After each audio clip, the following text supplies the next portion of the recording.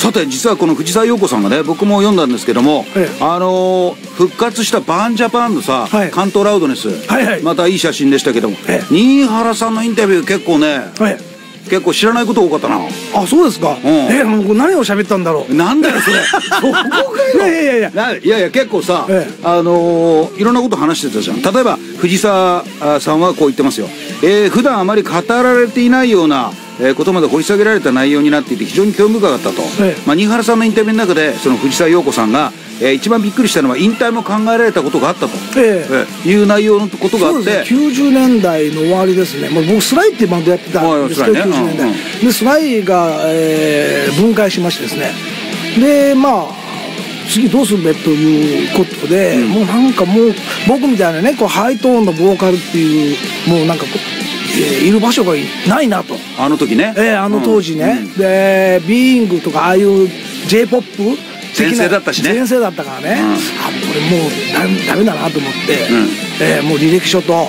あとあの求人情報誌みたいなのをなるほど。初めて買いましたですよ。あら。え本当に買ったの？え本当に買いましたよ。話でしょそれ。えいやいや本当に本当に。新聞もね、えーあの求人広告見ましたですよ当に？ソニーにするべかなとかねいろいろ。ビクターにするべかな結局レコード会社 全然なんてないですよ、ええ。本当に？いや本当に考えましたけどね。でもまああれさスライの最後のこと何年ぐらいですか時代98年。98ぐらい、ええええ。まあ時代がやっぱり大きく変わってたそうですね。頃ですよね。ええヘビーメタルがあのグランジのああいうものにこうねちょっと押されてたからね。ええちょっと様変わりがししでました。もそれはあの新原さんのみならずね高崎君がやってたラウドネスだって、ね。いろんなやっぱりこの山あり谷ありで、うん。978年ってのは結構大変な時代だったと思ういやあのモトリー・クルーでさえやっぱり地獄の、そうだよね。90年代って言ってましたからね、やっぱメタリカなんかも相当こう迷走しましたし、そうだよ。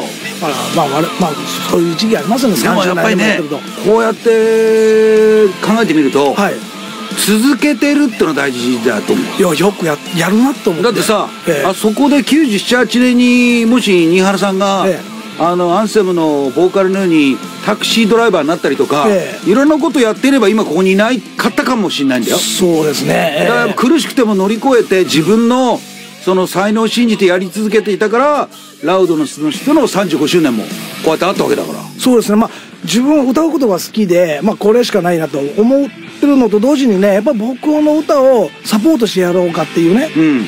あのスタッフもあ多くはなかったですけどいいてくれたのでね、うん。でそういう人たちがこうガッとこう後押ししてくれてっていうことで。まあだからスタッフにも恵まれて、ファンの人も恵まれていや本当にもういい人生でありましたです。終わるなよ。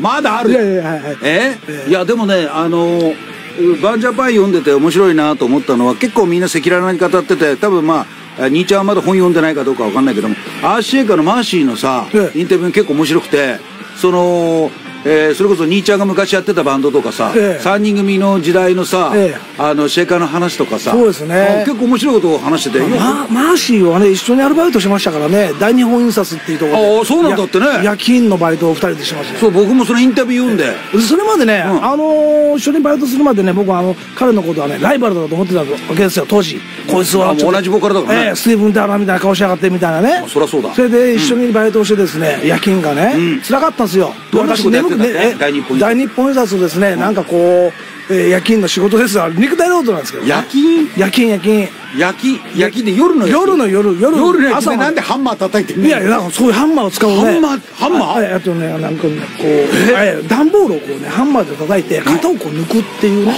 え？えまあその仕事やってて僕眠くてねうん。辛かったんだけど全部回しがやってくれてね。兄ちゃんいいよ。兄ちゃんいいよ。寝てていいよって。ねその時にこいつはいいやつだと。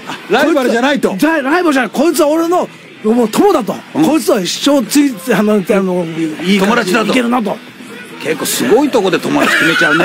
それで。自分の代わりにバイトをやってってだけじゃねえかよ。や。ってて俺がやってこうから。あいいねいいね。あ本当に。その頃は何？あのもうあのおシャラとやってたの？はい僕アーシェイカーやっていて彼はマンティスっていうバンドでうん。あの九州から出てきたんです、うん。普通出てくるのは東京ですよね、うん。なんで京都出てくるんだって、先輩いたからでしょ？そうなんですか先輩。うん。ちょっとななんでこいつら変わってるなと思ってたんですけど。でもさ、ええ。京都大阪あの時代は東京よりも京都が大阪のそのアマチュアのロックバンド熱かったでしょ？熱かったですね。すごすごかったですよ、だからソウルブルースっていうイメージがあるんですけども一方グランジロックとか、だからプログレッシブロックがまあプログレね？すごかあとブルースとかね？ブルースがすごかったです。僕はちょっとどっちかというと関西はブルースの方に僕傾倒してたんですけど、うん。見に行くのはね、うん。でもあの友達はもうプログレバンドとかグラムロック、もうん。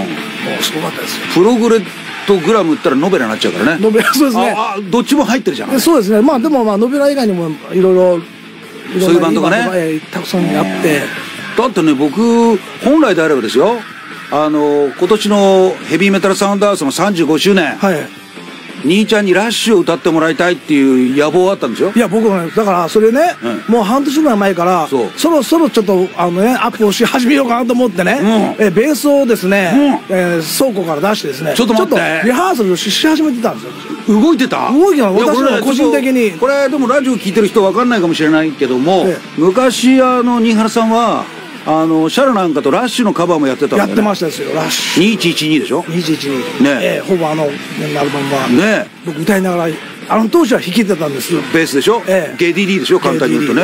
でも歌歌も僕彼の影響すごく受けてたんであ本当？初期の頃のねゲディリー、ええ。つまり高くこうロバート・プラントよりもさらに上にキーって。もう今の新原稔のスタイルがもうまさにゲディリーが元祖ですから、なるほど。僕にとってはね。うん。それで、まあ、2112やってたって話を聞いたんでこれはちょっとサンダースでゲラッシュトリビュートをやりますかなんてもう相当プッシュしたんだけど、え練習してた？いやもうそろそろそろそろやるかなと。半年はリハビリにはかかるだとそりゃそうだ思ってましたんでよかったなくなってなくなってないんだよちょっとねなくなってないですかなくなってちょっと待ってくださいもうもう無理ですからで一筋一月ないじゃないですか一月もう嫌な汗かいてきてもうあさってラウドネスのコンサートあさってラウドネスのコンサートなのにラウドネスどころじゃなくなってきたちょっとラウドネスのサウンドチェック的ラッシュ練習してみていやいやいやいやいやいやいやお願いしますよ。あそうですか。わかりました。でもいつかさ、はい。でもラッシュのトリビュート1曲くらい歌ってほしいよ、そうですね。うん。実は僕やってるんですよ。